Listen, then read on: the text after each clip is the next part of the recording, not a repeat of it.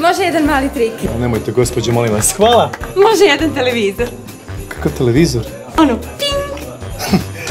Znate šta, za vas imam nešto posebno, može? Ne, ne, ne, ne, ne, ne, molim vas, sve je to hipnoza, molim vas, sve to... Dobro sam, dobro. Dobro je, vidite da kažem da je dobro. O, do- dobro večer, dobro večer.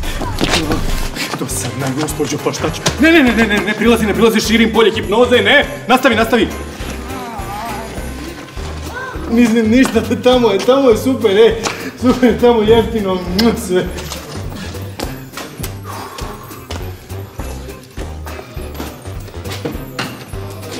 E, gospođo, gospođo! Šta je bilo? Hajde! Uuu, izvini, gospođo. Izvini, izvini.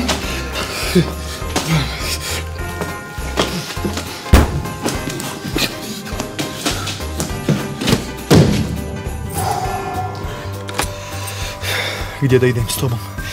Gdje ću sad s tobom? Ti, ti, ti, ti, dosadna gospođo. A!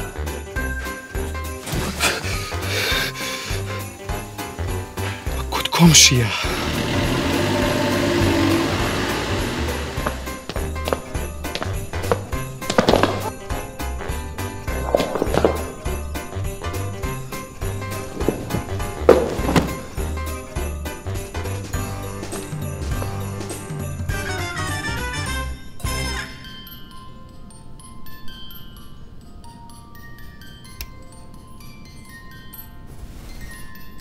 Ovo je pravi čarobnjak.